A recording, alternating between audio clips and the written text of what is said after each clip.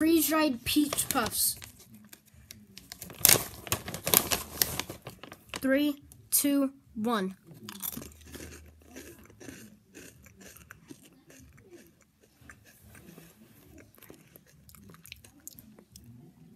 No reaction.